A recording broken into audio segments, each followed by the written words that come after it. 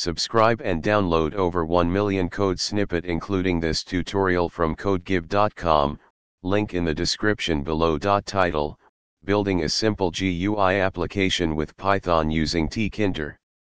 Introduction Graphical User Interfaces, GUIs, play a crucial role in creating user-friendly applications. In Python, tkinter is a popular and easy-to-use GUI framework that comes bundled with the standard library. In this tutorial, we will guide you through the process of creating a simple GUI application using tkinter, complete with code examples. tkinter is included in most Python installations. However, if you don't have it installed, you can do so using. Start by importing the tkinter module. Next, create the main application window using the TK class. Widgets are elements like buttons, labels, and entry fields that make up the GUI.